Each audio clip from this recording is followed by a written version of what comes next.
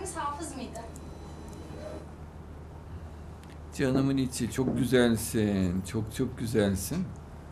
Allah güzelliğini kat kat artırsın, nurunu artırsın. Elinden yüzünden nur akıyor. Dekolten de çok yakışmış.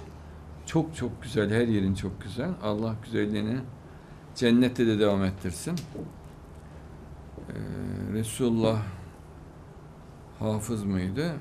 Hafızdı. Sahabeler de hafızdı. Hazreti Ömer, Osman, Ebu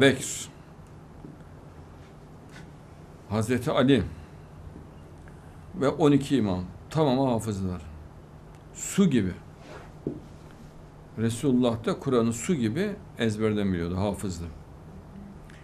Hazreti İsa Mesih de hafızdır. Hem Kur'an hem Tevrat hem İncil hafızıdır.